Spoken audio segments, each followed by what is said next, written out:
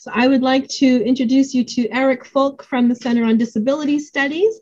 And after him will come Ha'aheo Pagan from the College of Windward Community College, and he's going to talk about disability services. So Eric, you have the share screen. Awesome. Can everybody hear me okay? Yes, we can. Great. Okay, so how much time do I have? Because I don't want to bowl over the other speaker's time. You have 15 minutes, so about until 1040. Okay, cool. Sounds good. Hello, everybody. My name is Eric Folk, and I am a principal investigator on a number of projects at the Center on Disability Studies, which is a part of the College of Education at UH Manoa. Um, we have a number of grants that are fo- or contracts that are focused around supporting individuals with disabilities, including intellectual and developmental disabilities, to go to college. So that's what I'm here to talk to you about today, a little bit about that. We also have a grant um, contract with the Developmental Disabilities Division to offer self determination training for groups, individuals, and parents. And to date, we've done hundreds of these presentations um, across Hawaii, across the islands, remote, and also on the US mainland, we've done several as well. And what we're basically ta- trying to do with that training is to raise the bar on awareness of what it takes to help people become self determined. And I'll be sharing information about that later. But the main message about what I'm talking about today is to let you know about options for students with disabilities to go to college. And I want to start with just uh, two quick stories. Um, about 11 years ago, we started working on our first national federal TIPSID grant out of the United States Department of Education. TIPSID is TPSID, and it stands for Transition Programs for Students with Intellectual Disabilities. So, what we're doing with that, and what we've been doing for that the last 10 years, is building capacity in our community college system, the UH community college system, to, to support students with ID to go to college. Fully, full inclusive opportunities. We don't do anything in groups, we don't do anything separate, no classes that are special. Students take the same classes as anybody else. Typically, if you're a student with an intellectual disability, you start with us the summer before and doing some, uh, you know, summer curriculum to get ready for college. We've probably met you in um, in your high school and before you transition, and then you do coaching with us about three hours a week, and you take a class or two to start. And then hopefully, what happens is we build from there, and the student will continue on through college as far as they want to go. We offer a certificate through our center that's for you know a two-year participation program at a standard. And that's you know just issued through our center. But our hope is that the students will go to college like anybody else. A certain number of people who are you know typical or not will go to college and decide it's not for them. A certain number will go for a few years and not complete. And a certain number will go and complete and possibly move on so what we're trying to do is create that same level of opportunity for students with ID, students with dis- developmental disabilities and other disabilities. And all we're trying to do is create access. What the students decide to do with that access is, is up to them and their vision for their future. And we're there to help them support that vision. I know that was a lot of talking, so I'm going to start sharing a little bit and go into a little more detail. But basically, I just want you to come, uh, come think about this, oh, the two stories. And then one thing I want to tell you first is students with ID can go to Vanderbilt. Students with ID can go to the Ohio State University. They can go to Georgia Tech. They can go to University of Georgia. They can go to UCLA. And so over the last 10 or 20 years, we've been really building up capacity to support students with ID specifically, but and other disabilities as well to go to college. So some of those programs aren't fully inclusive. They'll have an inclusive component, but the the real thing to remember is if, if you think you're child, if you're thinking of college as it was 10 years ago that, and how we treated people with disabilities, especially more significant ones, it's different now. There are a lot more opportunities. Across the US, there are over 300 programs that support students with ID to go to college. So, the two stories I want to tell you about is about 10 or 11 years ago, uh, we started working with Farrington High School and Laura Paul, who is a very well known transition teacher there. And we met a bunch of students, and a bunch of students started. First year, we started with four students with ID, and the program built over the years. And um, two of those students who started with us early on, you know, at first struggled. One of them was a diploma track student, one of them was a certificate student. And they both um, had on their record that they were individuals with intellectual disabilities.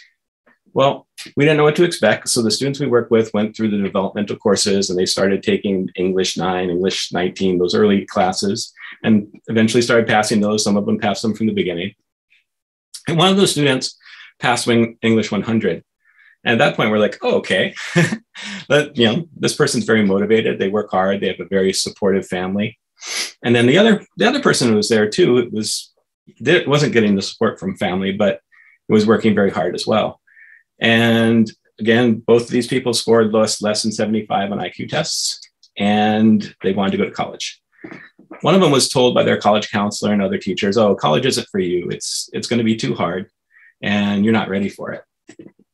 Which is one of the main points we make is the students we work with are underprepared for college. It's who's to say the challenges they face in college are about their disability. They've never been talked to about college, or in most cases, prepared for college. So these two individuals kept going and they took classes and they passed classes and they passed classes. And pretty soon they started seeing college as a real option for them. Two students of ID scoring less than 75 on IQ tests. Before we knew it, both of them had earned certificates at the UH Community College, you know, Honolulu campus and human development. And before I knew it, both of them had jobs, part-time jobs, you know, what we call uh, transitional employment in DVR language, and wanted to keep going to school. So they had a certificate. Many students go to college just for a certificate, and once they get that, they go out. It's before an associate's degree. Both of them decided they wanted to keep going. One of them got his associate's degree in human development, and we're like, "Whoa, cool! This is great," you know. And then the other one um, got one class away from her associate's degree but decided she wanted to transfer to UH Manoa. She had the credits, she had the grades, and we're like, how do we do that? you know, how are we going to help this person? You know, how do we support them? And it was the same model. She transferred to UH and is dormed. and after the first semester, she passed all of her classes. Like, whoa, this is incredible. So she actually ended up speaking at the HCC graduation for seven minutes in front of the whole Waikiki shell talking about her experience. And it's pretty amazing. So the other student, seeing this student go to UH, said, I want to do that too. And he had already earned a certificate. So I, he, his associate's degree. So he transferred to UH Manoa. So fast forward to today, um, one, both of these students work for us because they're so good. I mean, they, they're so good. I wish I had I didn't want to interrupt their weekends or I would have brought them here today to talk to you about their own stories, but you'll have a chance to hear their stories in the future. I'll, I'll talk about that a little later. So fast forward to today. Uh, one of the students is about to graduate next semester with a university degree, bachelor's degree in um, human development and family studies. But, you know, that's really incredible, incredible because just like a semester ago, she returned from doing international student exchange to London during the peak of COVID the whole time we are coaching her two or three hours a week. And um, the whole time she's developed an incredible amount of skills and an incredible amount of work ethic. Both of these stories are very unusual, but they show you the high end of what's possible with a lot of dedication and commitment. And oh, I see Joe is uh, someone, one of their students is on it today. At any rate, um, I just wanted to tell you these stories because the student started from maybe not being able to cross the street by herself or make change to graduating or earning a certificate, transferring to UH Manoa, um, going on international student exchange by herself, figuring out how to do that by herself with coaching support and being successful there and coming back. And now she's on the verge of earning a bachelor's degree. And she's been dorming the whole time too. Pretty incredible. It blows my mind just hearing myself talk about it. but um, you know, it's a range of what's possible. Other students we work with said after a semester, hey, college is not for me. Some went on for a couple years. There's a range of outcomes that represents basically, hopefully, close to what typical students have.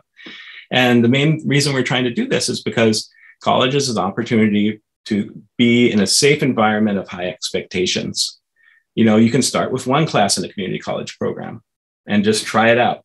You have a coach helping you along the way, trying to develop those skills you'll need. And all along, our coaches are also focusing on the long term picture. So even one semester or two semesters of college is associated or correlated with higher earning outcomes for stu- individuals over a lifetime. So our point is let's get them in. If they can get for one semester or two semesters or three years or 10 years, no matter what, it's going to help them. It's, it's a great environment to learn and grow. They they like to shed that special education label and they like to develop these, you know, abilities to deal with these higher expectations. And the main thing we do during this time is we also try to help them develop the skills they need for self determination. They get a lot better at making their own choices. They get a lot better at making their own decisions. They get a lot better at problem solving and decision making.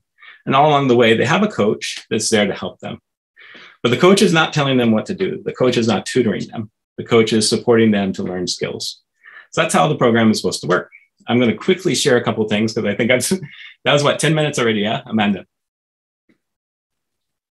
I forgot what time I started. You're good. You're good. Okay. You're all right. All right. So I'm going to zip ooh, zip through this slideshow right quick just to give you some uh, background, more background. So we're called the Post-Secondary Support Project, PSP, and we're at the Center on Disability Studies at UH Manoa. And that's the grant information if you're interested in it. So I'm going to just tell you really quick what we're working to do here is to create inclusive college campuses that provide support for people with a variety of abilities and support needs to be successful. And we provide transition and post secondary support for students with ID, well, all with disabilities beyond what is provided by on campus supporters. And just really quickly, we have three programs. They have different entry points. There's our TIPSID grant, which is specific, specifically for students with ID. Participants in this program go to college like everybody else. They don't receive financial support from us. They go to college, they figure out how to take a class or two in the community college system, which isn't that expensive. And then we provide the support at no cost, that coaching support that I mentioned. We also have a contract with the Developmental Disabilities Division, who's been a very strong supporter. And basically, if your student is with DDD and they are interested in college, the, uh, the gateway is very wide open for that. Uh, you just have to ask your case manager about the PSP program, and they can refer you to us. The next way we have in is we can support students with any disabilities that are clients or potentially eligible for services through DVR. But this is a DVR gateway. So you have to talk to your counselor about it. And you know, we can share information with you about our programs but DVR is the, the valve that can offer this service. And in general, they're very, very supportive of, of these programs. So if you're a client of DVR, you want to go to college, that college fits with your career goal, then DVR will talk to you about, you know, possibly referring you to our program. So those are the three main pathways into our program of support. Just a little bit about our model components. Um, we're based in high expectations. We expect students to achieve at whatever level they can do with hard work. What I want to say here is, yeah, students with ID and other disabilities, they might have high end limitations on what they're you know capable of. They might have significant challenges to analytical thinking skills and things like that. However, we don't know. We don't know what their limit is because probably we haven't tested it that much up till now. So we want to leave open the opportunity that some of these students are going to really bloom. They're going to work 30 hours a week on this stuff and they're going to they're going to fly at high levels, and others are going to grow a lot, but maybe not that much. And others are going to find a little bit of growth over time. But we're trying to have a program that supports all those levels of growth. And a big thing that we do is the self determination training. Talk about that in a minute. We really focus on person centered planning, um, not only as meetings, but also that the person is working on their individual plan. That's supposed to say front door first, but basically the idea is before we provide any support, we uh, look at what's available on campus and we support the student to go to that support. So instead of tutoring, our coaches will talk to the student about what they need help with and how to get help. So we're kind of a facilitator of support. Uh, our coaching model changes over the time. It might at the beginning be very much about like uh, how to get your ID, but that'll change over time to be like how do you get a job, you know? So it changes as the student matures and grows. We also have a peer mentoring component. The best model for learning is people, the, the person is most like you, which often is your peers. So we have peer coaches or peer mentors that also work directly with the students by request. So front door first, talked about that. Don't have time to talk about it more. Uh, one thing I want to mention about the adaptive coaching model is we're trying to be as invisible as possible. And one of the things we say is You might not have heard of us because we don't have t-shirts, we don't have an office, we don't advertise our program as much as try to support the student to be a college student like anybody else. So we try to be as invisible as possible in our, our service provision. We also, uh, there's an activity we do every end of July, early August. It's called Camp Manoa. It's four days, three nights in the dorms at UH Manoa. It's a full day of training each day. It's not a camp for fun. it's hard work, but the students still have fun. And the focus of the whole training is self determination. And it, we will be sending out flyers about that. Um, I don't know later. It, it's going to be, uh, I think, the last or third week of July, and information will be flowing through the original, uh, like through DVR and DDD and whatnot. Um, it's really fun activity. There's uh, peer coaches there. There's um, there's co- uh, typical college you know, counselors as well. Uh, it's a it's it's a rigorous thing, but the students really enjoy it. At the end of the camp, they present about their journey, and those presentations are amazing. So for more information about that, we'll share our contact information a little later. So the other thing I want to mention is self-determination training for, or we call it self-area. This is a opportunity that's presented by the Developmental Disabilities Division, and Mary Brogan has been very supportive of this opportunity. Um, basically, we teach an hour and a half to two hour intro session to self determination. So, I'm going to share information about that. We tr- offer this training to individuals at school. We go to some schools and do that training. We do this training for professionals. We do it for small groups. We would love to do it for parent groups. If there's any parent groups out there that would like to have this, thanks to DDD, there's no cost for the training. I'll be sharing you that information in a little while. Okay. So the reason we're doing this is because self-determination has been a huge phrase in our field forever. And, and this is, got it. And this is uh, something we all need to work on together to build capacity. And so the more we all know about self-determination, the more we'll be on the same page. Okay, this is a flyer. Uh, the flyer is explaining our uh, self-determination training. And this is, if you email, email me or put your name in the link in the chat, we can email you this directly, or I can give it, actually a better way, I give it to Amanda to share. But this is a PSP, and there's this other program called the Pacific Technical Assistance Center on Transition. That's also us, then CDS and the DDD. So this will give you contact information, and we'd love to share that with you. Uh, couple quick things. In March 2022, we're planning some college information sessions. Uh, if you're interested in those, please email us at cdspsp at hawaii.edu. We also are trying to put together a mailing list or inclusive post-secondary education network.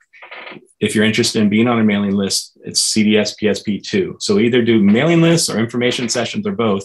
If you send us the email, we'll get you that information. Also, we're looking for members to help our inclusive post-secondary advisory committee, which we'll be assembling to help us set up four-year programs at our universities. All right, here's more information. Uh, oops, there's my phone number. I guess you can have it now. So if you have questions, feel free to reach out. We'd love to talk to you about it, and I'll be available for questions if we still have time. Thank you for everyone. Appreciate your time. Thank you, Eric. That was a lot of really great information. So we will have time for questions and answers um, at the end. So start putting those in the chat. Anything that's coming up, about some opportunities coming up for the spring and the summer. So um, look for that information. We will get this posted up on the Footsteps of Transition website.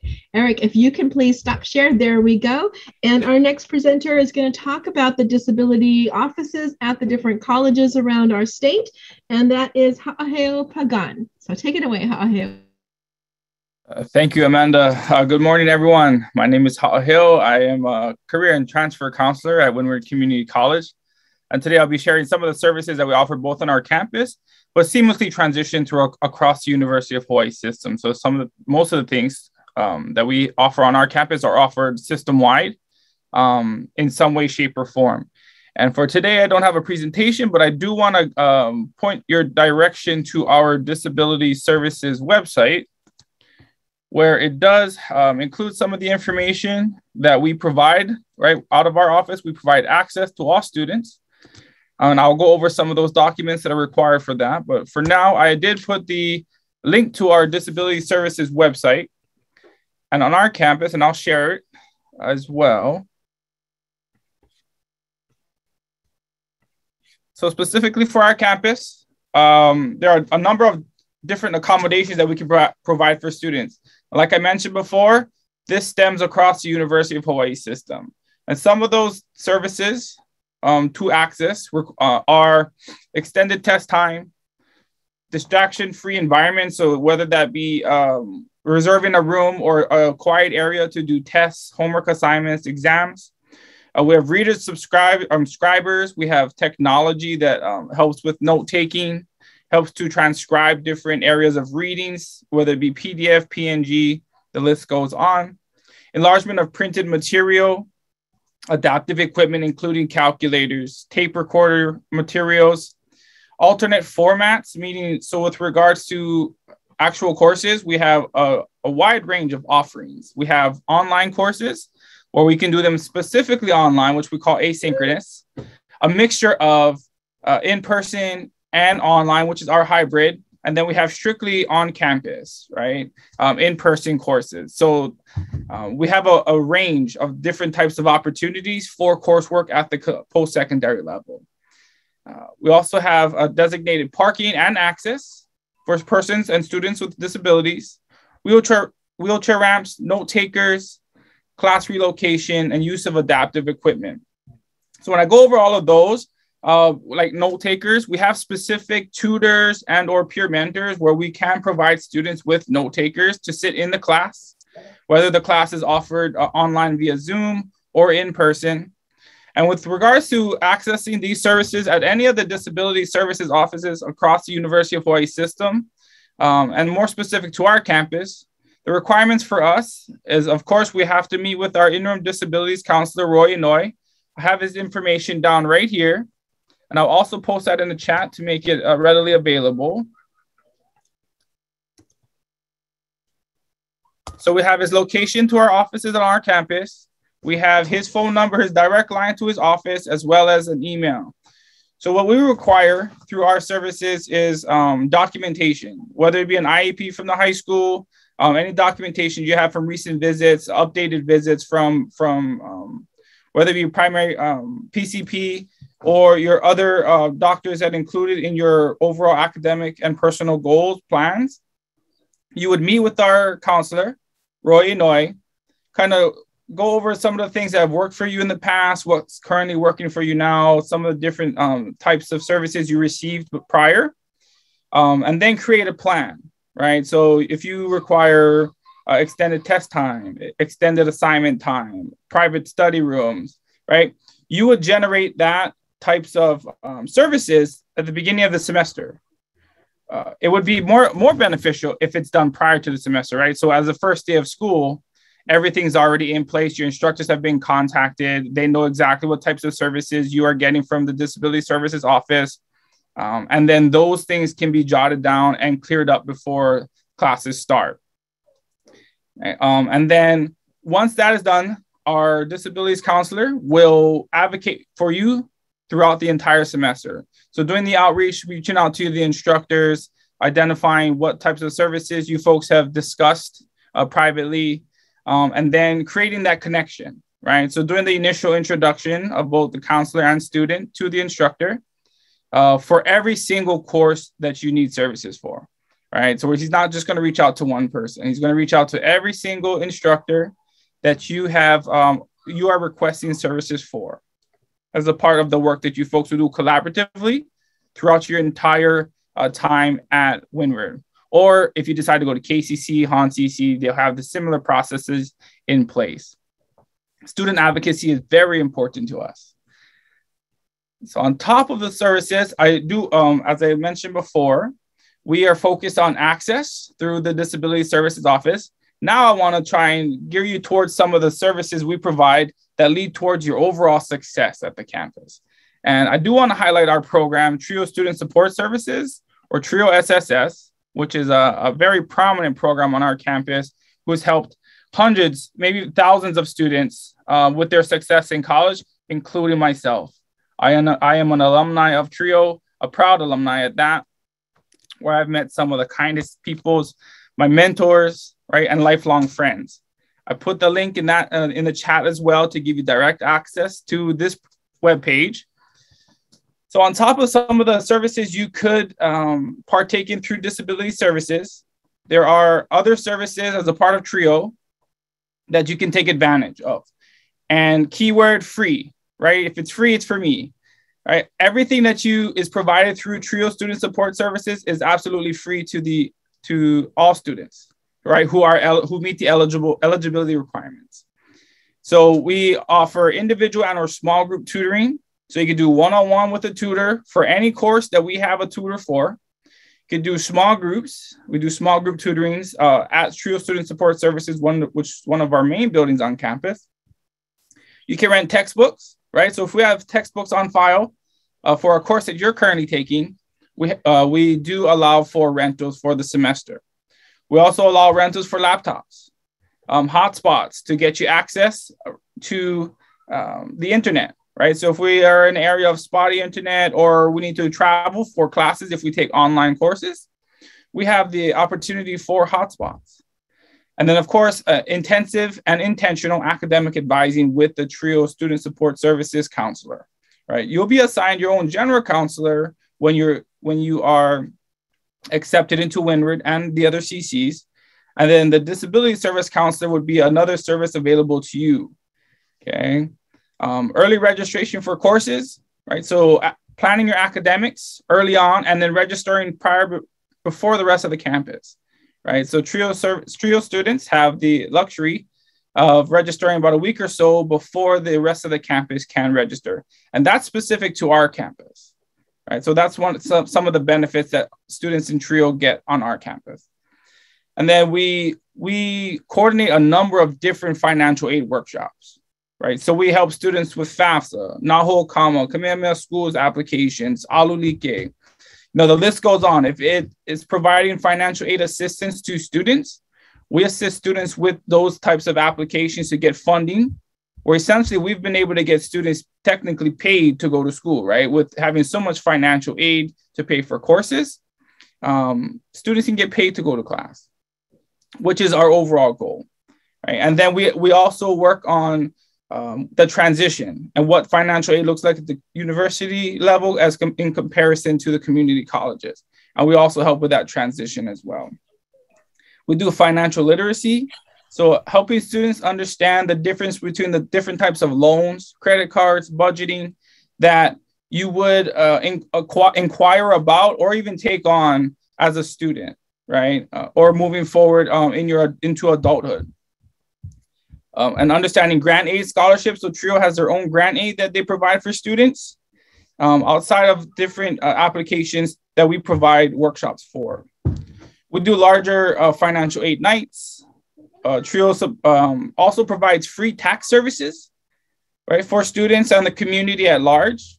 We do summer math courses that are very intentional, also intense, where students taking summer classes, uh, math classes with uh, one-on-one tutoring, supplemental instruction, and then larger um, tutoring sessions at the TRIO, TRIO SSS services. Uh, we do Midnight Madness. So during finals week, Trio doesn't close until midnight, right? So providing access to students to be able to study for finals, get ample amount of time in quiet study spaces, in group settings, one-on-one, whatever is a, the student student is accustomed to, we will try and meet those accommodations at all times. We also have free printing, free computer use, right? On top of the um, the, the laptop rentals, book rentals, and then, of course, fun and food, right? TRIO is focused around uh, strengthening student connections, your peer to peer interaction, and gaining lifelong friendships that extend both within the classroom and outside of the classroom.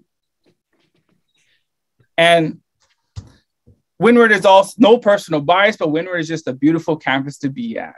Um, just the services that the University of Hawaii system does provide for students um, it, it's humbling to be a part of the organization, right? To truly understand uh, afford, affording students with access to accommodations that best fit their needs um, throughout their post-secondary um, adventures. So I think that's all I have for you folks right now. Uh, and then, of course, we have time for questions for both myself and Eric. Um, but, but yeah, Awesome. Thank you so much again. Thank you, Hale. That was wonderful. That was a great overview of the program. And just because this is um, specific, you know, to Windward Community College, a lot of these services do extend to the other colleges. Is that correct? Correct. Yes. So through our disability services, everything I've shown on our website um, is available at all of the other University of Hawaii system colleges in some shape or form. Yes. And you have assigned counselors at those campuses as well. Fantastic. And Eric, when you were talking about the supports and services that your program provides, is that specific to Manoa campus or does that extend to other campuses as well? Yeah, thanks for that. Presently, um, it's actually all the community colleges. So, especially with online support provision, in the TPSID program, the students with, uh, for students with intellectual disabilities, we can do coaching statewide. DDD, we can do coaching statewide. And shortly with DVR, we will have a, a contract in place to also offer statewide support. Um, we are working on four-year programs to be at West Oahu, uh, um, University of Hawaii Hilo, and UH Manoa as well. Those are going to be in progress over the next four years. And yeah, that's about it. Oh, but first I'd say, hey, I'm interpreters. I'm so sorry. I only had 15 minutes. I'm sorry I was so fast. Hopefully people can watch this in you know a video separately but if you need more information please reach out. And thank you interpreters and apologies asl users today. Thanks eric. No worries. We are going we are recording this session. We will have it captioned for folks and up on the website in a couple of weeks. So uh, look for that. No no worries at all. Michelle i see you are one of our q&a monitors. Do we have some questions yes. for our panelists? There is a question from Megan Everett, and I do believe that this is for Eric. What are the age restrictions for your program? Um, for the TPSID program, there are no age restrictions. Uh, for DDD, there are no age restrictions. For DVR, there may be age restrictions depending on a couple of different uh, variables. One, uh, possibly potentially eligible students may age out. And um, that's a, an issue to be brought up with DVR to talk about that. But the relatively few age restrictions. Uh, and right now, I think that was the only question. Anita had a question, um, but it was regarding SSI. So I thought I would um, bring that up when we did the all. Uh, are there any other questions that you would like to um, ask Eric and Hale? Please enter them into the question and answer box. Do you, do you mind if I just add something if we have a minute or two? Please do. Um, yeah, so th- thank you. So the, yeah, there are a lot of, of opportunities for students once uh, they get through the door. So you know, your transition teacher at your high schools, they're very helpful individuals that can help connect to us and other programs. Um, once they get there, then our coaches also can help connect to the various supports and uh, disability support office like um, Hale was talking about has lots of opportunities um, and lots of support mechanisms, but you just need documentation to get in the door. So sometimes we help the students we work with get ready for that. And most of the campuses do have a TRIO program. LCC doesn't, uh, but most of the others do. And, and like uh, we shared, it's pretty awesome. The services are, are prioritized for people with disabilities and first generation college students and people dealing with uh, financial and other, you know, socioeconomic issues in their application. So, so support is there. Sometimes it's just a matter of finding it, and uh, we'll try our best to connect you to the sports that are available. Um, there is a question from Desi McKenzie. Please explain how students with disabilities can access college for the socialization purposes, for socialization purposes. And I guess that's open to both of you. Um, I could start if you want. Okay. So um, what, what we're really looking for is, yeah, uh, socialization and, and, is a byproduct of inclusion. Um, what we're for the programs that we were in, the expectation is the student is trying to learn as much as they can. That they want to be a college student and they're trying to work on that. And so that's how our system and program is set up. It's about uh, you know aspirational attainment of education and some of the students you know they struggle a lot at the beginning of for the classes and so they take you know the classes they can do and they sometimes will take them for credit no credit or audit if their skills aren't there yet but the expectation is in our programs at least is it's not an experience program It's a authentic inclusion opportunity and education. So as long as the expectation is to learn and work, then the social by, inclusion is a byproduct. Uh, we don't do anything that's like, you know, come on campus and, you know, eat at the cafeteria. That's there are a lot of people that do that, and it's pretty much during regular times, not COVID times. It's an open campus that you can do that. Um, but yeah, I'm sorry for the limitation, but it, for ours it is. You're focused on education. You want to work hard, and um, then the, the social part is a byproduct. So sometimes okay. you, sorry. No, just, go ahead, Eric. One last thing. Uh, there are classes that are no credit. So sometimes students will take those because uh, there's very low barrier to entry. It's like Office of Continuing Education and Workforce Development offers classes like starting from keyboarding and Microsoft Office Suite. And they, you can learn those basic skills there without credit risk. And those classes are very inexpensive. And that's a great way to get started. Yeah, no, thank you so much for sharing, Eric. Um, and with regards to socialization in terms of the larger campus, I think a lot of that's connected to the different programs and services we have to offer.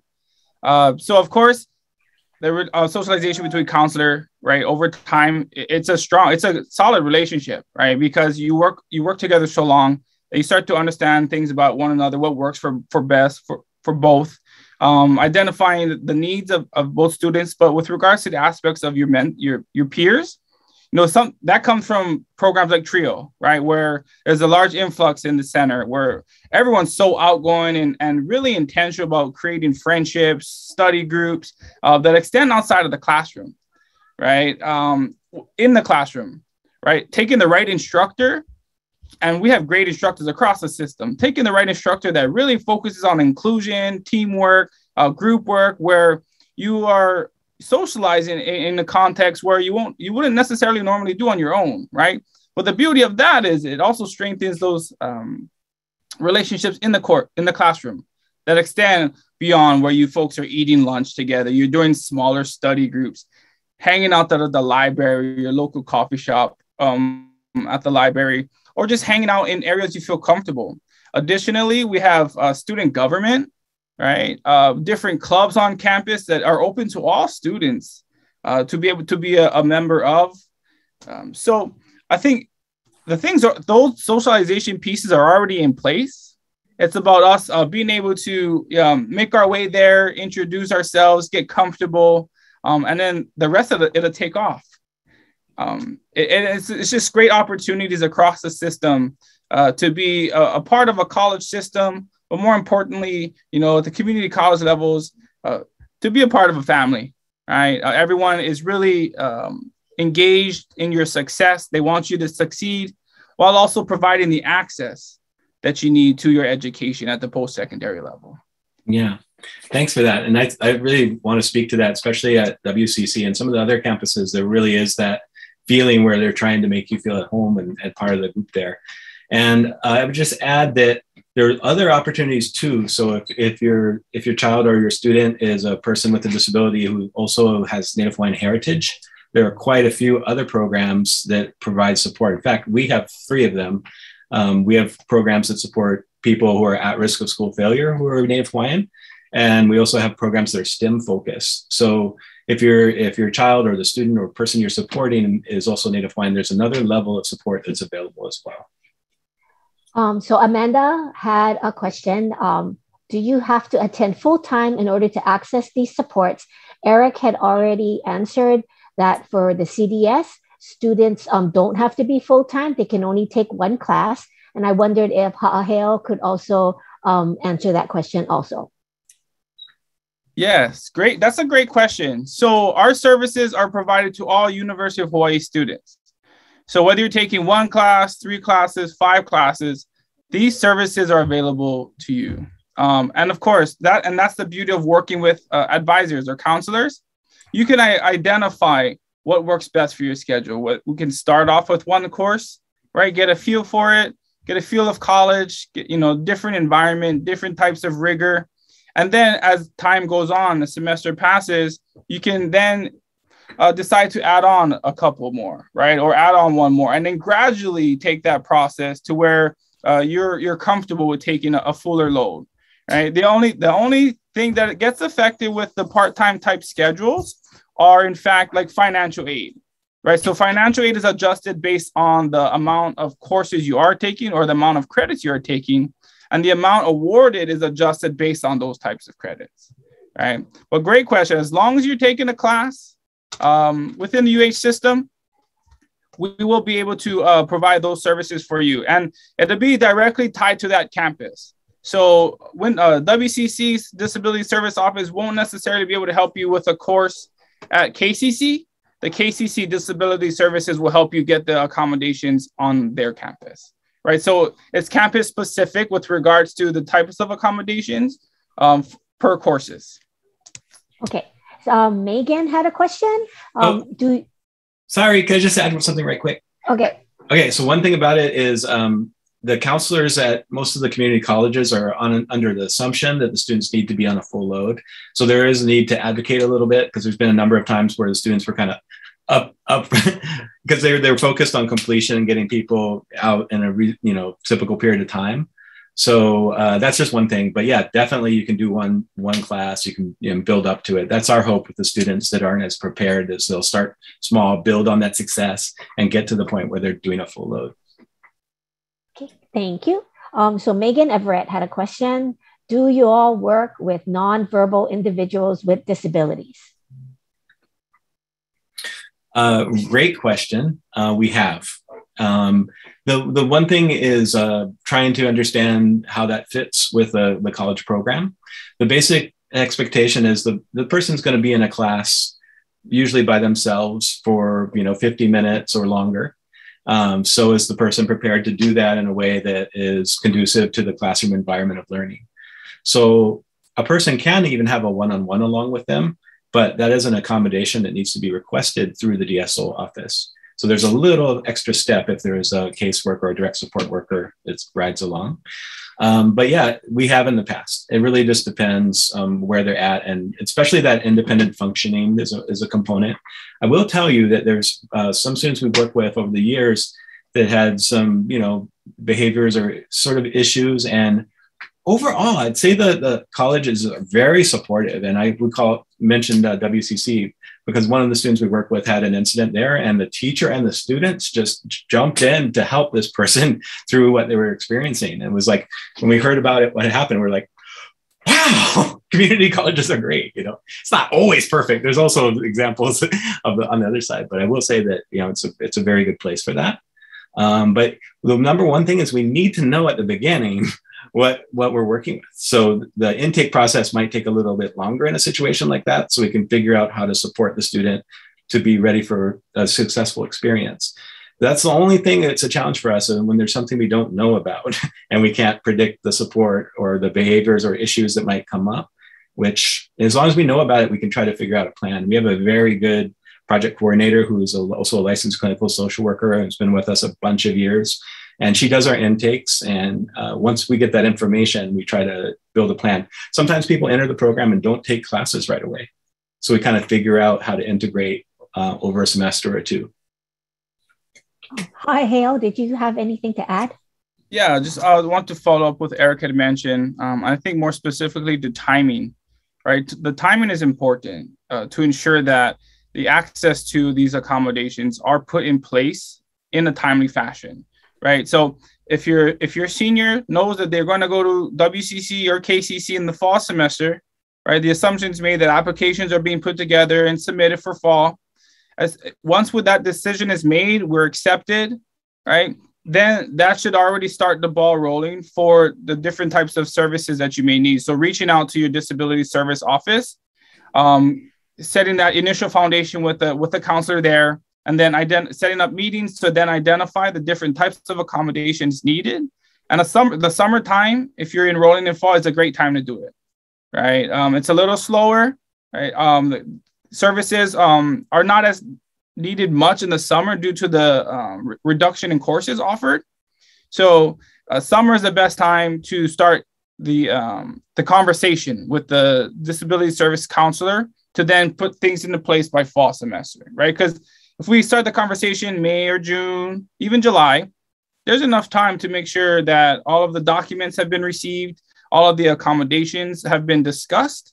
And then, you know, all those draftings to, to instructors come the, fir- the week prior are in place and you're ready to go for the first day of classes. Perfect. Um, Leanne Estrada had a question. Maybe this was answered, but is the CDS program available on all islands? And would we go through my child's case manager at her high school for contact? Um, yes. So we did sort of talk about that, but just to clarify, uh, students who are with DDD, they've already are in and receiving case management services. They are eligible all islands. If they're individuals with intellectual disabilities, meaning they score less than 75 on an IQ test and have one or more limitations in functional areas, which people are aware of, uh, then we can support people on neighbor islands as well. DVR is we're still working on that. So the DVR uh, path it will be there, but we are you know working on making it happen. Our... So these um last uh these few questions are um geared towards Eric and Ha'aheo. So from Desi McKenzie, I think this ties into her previous question regarding the socialization. I am speaking of students who may not be at a functioning level to be able to perform academically, i.e., accessing college courses like cooking, dance, etc. Um, yeah, I, I would say like to figure out it's an individualized program. So we would, uh, the best thing would be to reach out um, and talk to us directly about the system, the, the situation your child or the person you're supporting is in. Um, yeah, there's there are some programs that don't have any academic connection, but we just because of our funding, the way we program is set up, it's it's an education focus, take a class kind of thing. You can take a class and take it credit no credit, or you can audit a class if um, the the possibilities of passing are really uh, challenging. But you'd still go to coaching, you'd still go to class, you know, you'd still you know try and do what you can do, and that's where we're at.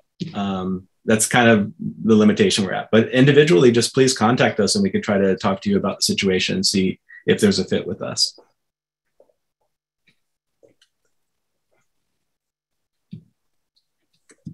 Okay, so Amanda Kahanui yeah. had a question. How does my oh wait, what happened? wait, wait. I was throwing some in there. I know. Wait, and it got. Can I ask questions? Wait, so Amanda asked if a student is exiting high school this year, when should we contact the disability office? I think Hale did um, answer that a bit, right? It was uh, as early as possible. Um, once the application is in, May, June, July is best. Um, and she had a follow up question How does my child disclose disability for disability services? Well, that's a great question. And that's one of those conversations that you would have with a disability services counselor. Um, and, and that, that can come from any form, whether it be from the IEP or other documentation from um, their physician, and then having those conversations, right? Um, but it's more so reaching out, right? So to start that discussion, it's about um, understanding who to go to, right? Who is the counselor on each respective campus that I need to speak to in order to get these accommodations for my student? So um, I share with ours, and then it may take some navigating on other campus web pages, but about disclosing that, it's like you would do that in the confidential process uh, through reaching out to the to the counselor and then having those discussions. Um, I, I, could add to that.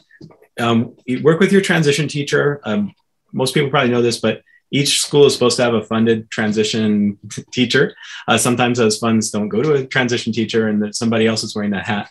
But um, a lot of times they'll prepare a binder or transition materials for the student to have. Those materials are very important. They include assessments and records and things like that that will help the DSO make that determination for support.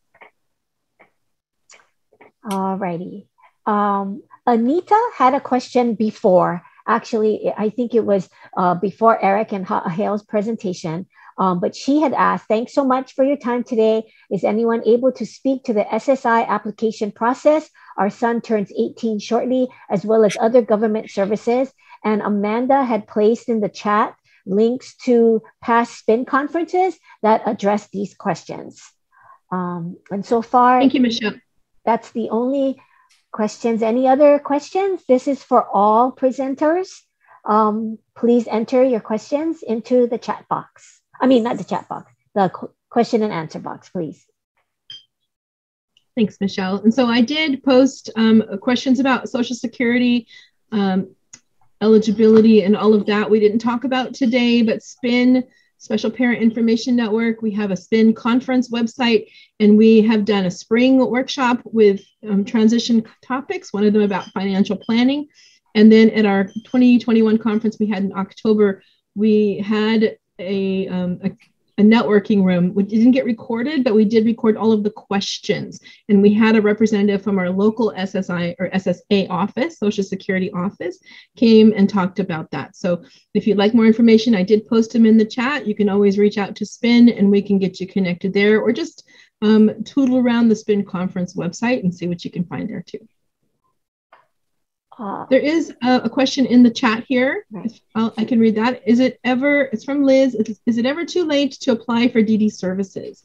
I am speaking for my 32 year old brother in law that still needs a lot of guidance.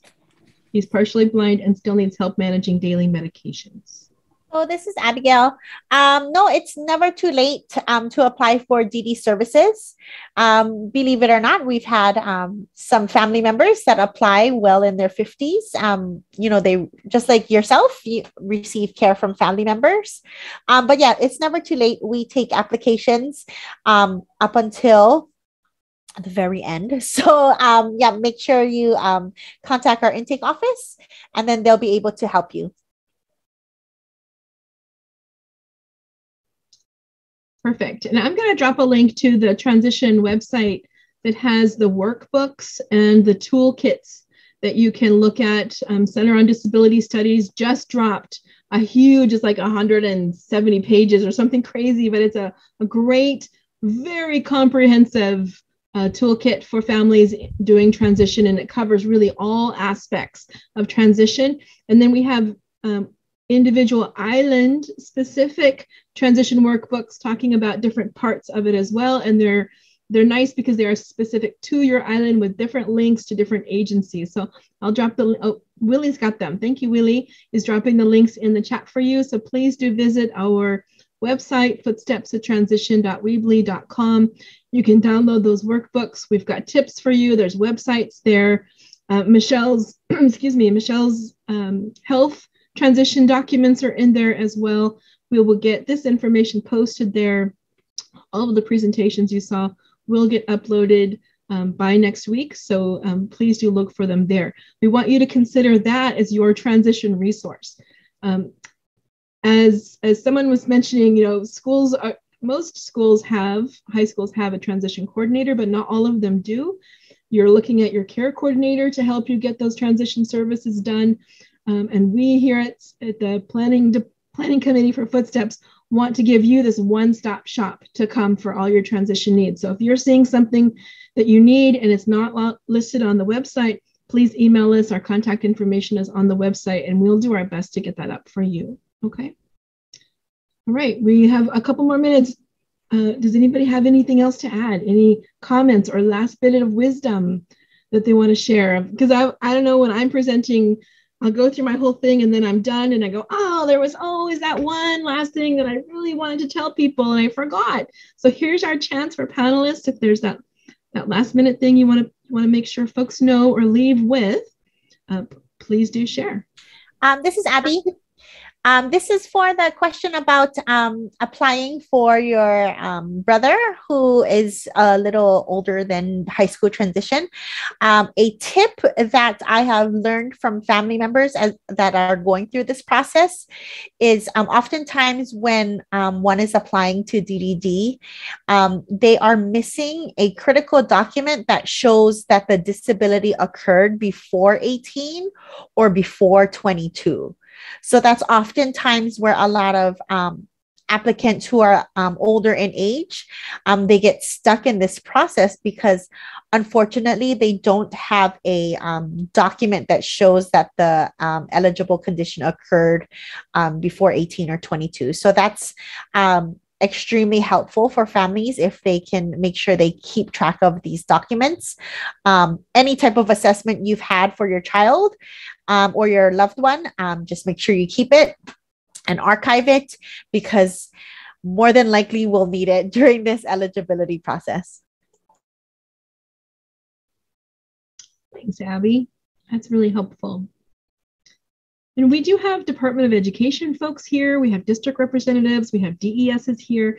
Uh, I think there's still a few of them are still here. Thank you for hanging out with us today. So if you've got questions about the process as well, you know, what's happening, we, we should really be talking at, at age 14, middle school, about what's going to happen when our kids transition out of high school. And sometimes it gets deferred because our middle school folks may not know the answers and nobody likes to say they don't know right? Or they think oh that can that can happen once you get to high school. But these conversations because you can see there's a lot going on.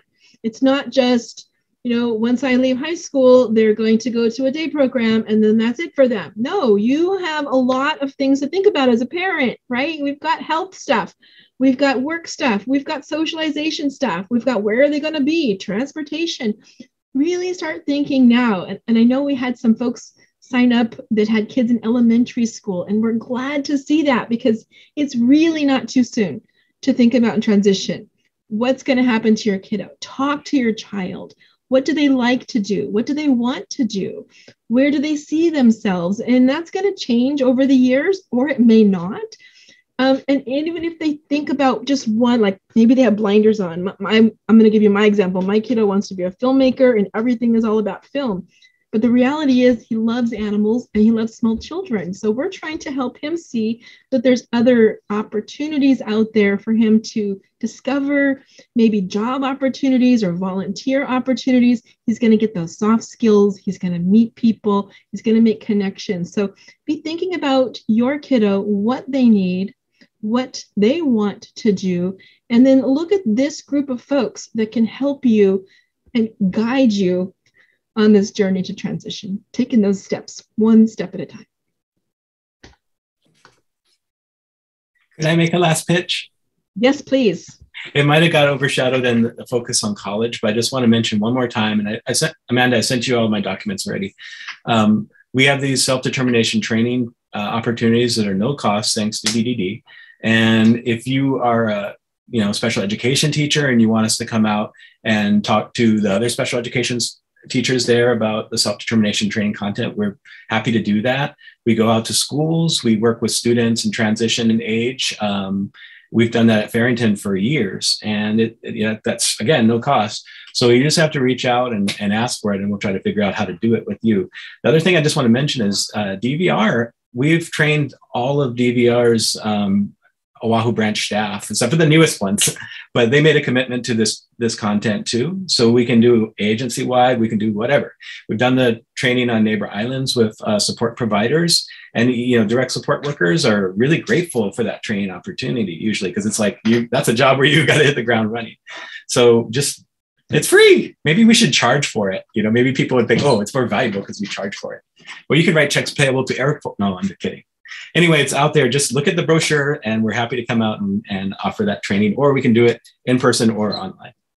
Thanks for the free pitch. and thanks okay. to DDR for, uh, DDD for supporting that initiative. So we have a couple more comments in the question and answer. Kathleen Anderson Momoa made a comment. Thank you for your time and energy. Best transition meeting I have ever witnessed. Have a great weekend and keep up the great work you all do for Hawaii. Thank you so much, Kathleen um, RAINA, have these agencies taken into consideration the amount of valuable time lost to students? Oops, what happened? Oh, there. During COVID, my senior has had no experience with DVR and very minimal with community based activities. Are there any accommodation for these students that lost this crucial time?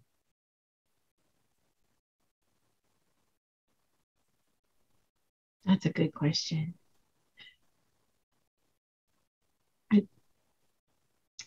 I'd say get them connected to your um, care coordinator, right? See if DVR can come in, see if they're eligible. They may be, um, and Cheryl, please correct me if I'm wrong, um, but um, there's a name for it. um, somebody step in, my brain stopped working. If you are um, potentially eligible, that's what I'm thinking of. Potentially eligible. Sorry, Amanda. Yes, potentially yeah. eligible student. We can start serving them as early as 14, provide them a limited five services, and before being determined eligible for those individualized services. Yes, that is absolutely correct. Super. Thanks, Cheryl. So work with your team at school, you know, invite the DVR folks, see what's available, see what kind of classes might be happening um, this spring. Um, my son took some classes through the DVR programs, you know, through those community resource programs, and they were very helpful and helped him kind of get something in the summer that he was able to do. So really start exploring, check out some of these great um, speaker websites that are here today uh, to, to move forward. And you can always reach out to us at Footsteps and we can get you connected. Um, Chris had a couple comments. Um, first, yes, Eric, please, we need this on Maui schools, middle schools, and high school. And would also like DDD, DVR people to meet with school teachers and counselors so the parents can get the information. Hi, this is Abby from um, DDD. Yes, we do um, I do presentations um, for a lot of different schools and their team of teachers, um, special ed teachers. So if you have a school that is interested in a presentation from DDD, um, I can go ahead and include our training unit email and then we can go ahead and provide um, an outreach presentation for you folks. We've done for many, I think we've done for Central Dis- District, um, Waipahu High School is a few so yeah, feel free to reach out and we can um, definitely provide you with a um, presentation. Hey, uh, Abby, um, it's also an opportunity if you want to include the SD training as an offer because you guys are paying for it. So that might be why not? we can talk about like anytime you do those outreaches, oh, you know, yeah, ask awesome. us to go along and yeah. So anytime, Eric. We should have thought about that. Can you remember? And we'll talk about it. if you're doing outreach, just invite us. Um, Chris had a follow up uh, comment. So, um, as a proactive parent, I seem to be the person educating the schools, teachers, and parents. I don't mind, but I don't have a lot of information or experience. You folks are also helpful, and it is great to let the community know about it. Thank you, Chris. Um, Thanks for that, Chris. Um, we also, Cynthia, who is one of our um, Department of Ed folks that are here today, thank you, Cynthia, but her mic wasn't working and she wanted to make sure you folks know that if you feel like your child has had learning loss due to COVID, do please contact your IEP team and call a meeting together and you can discuss learning loss and services um, through COVID impact services that can make up those um, that learning loss that you feel may have happened. So definitely contact your IEP team if you feel that COVID has impacted their learning and they can help you to get services that will happen before or after school. They don't happen during the school day, but they can happen around and wrap around your child's education. So reach out to your care coordinator or your DES if you're not sure how to proceed. Any other questions? Please enter them in the question and answer.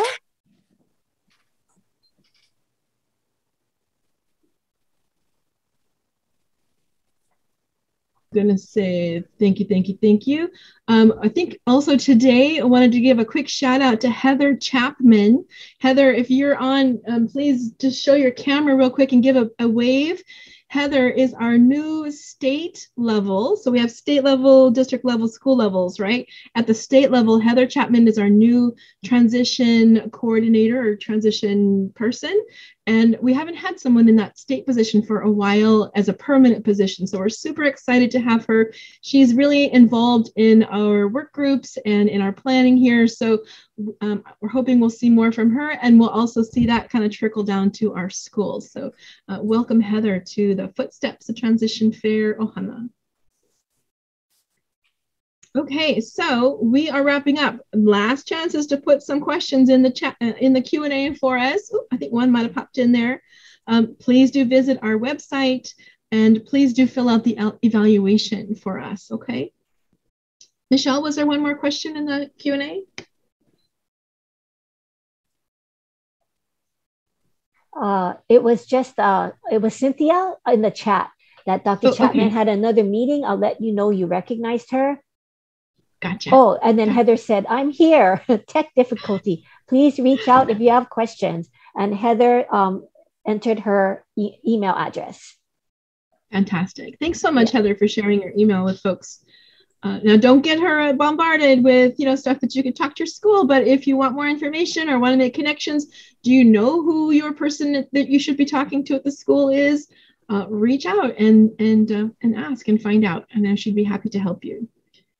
We're we're excited to have her on board. Okay, I give I'm gonna give one one more moment. I, I hate awkward, weird silences on Zooms, so I don't want to sit too quietly, and I didn't set up music. But we also want to make sure that if you have a question, we don't cut you off early. Otherwise, we're going to thank you so much for coming and joining us on a Saturday morning uh, for our Footsteps to Transition Fair. This is for school year 21 22. And so please look for us again for the next school year. We'll be planning starting soon uh, for the next event, hopefully in person. But again, thinking about a statewide conference that will probably be on Zoom so we can involve everybody. Uh, if we don't have anybody, anything else, I'm going to say mahalo from our Footsteps to Transition Planning Committee on behalf of all of our speakers. Mahalo and aloha. Thank you.